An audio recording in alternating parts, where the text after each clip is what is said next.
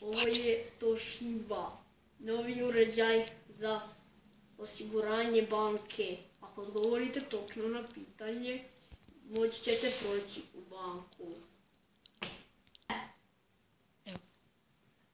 Jesi. Probat ću. Jesu li?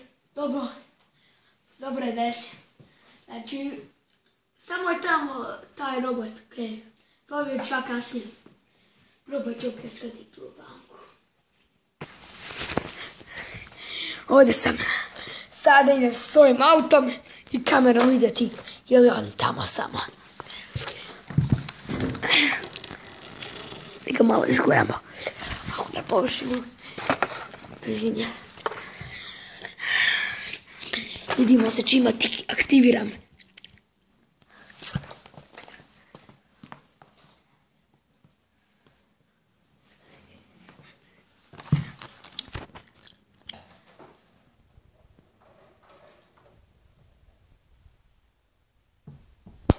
Sad. Robote, mogu ući u banku? Morate odgovoriti na nekoliko pitanja. Reci. Kako se zovete? Marko Kopilaš.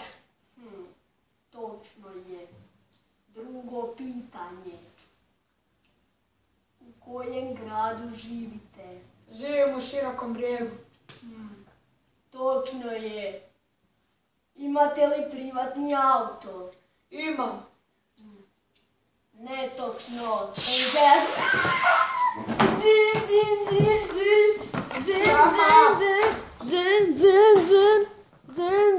Sad. Zaustavit ćemo te, zaustavit ćemo te, ej, zaustavit ćemo te. Aj! Stoj,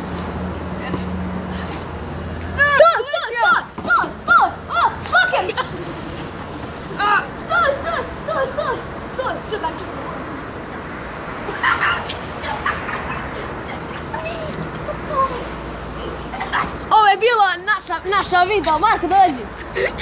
Policajci, lopovi, pišanje. Subscribeajte nas, to već radite, lajkajte šta god hoćete. Ćao. Ćao. Boom.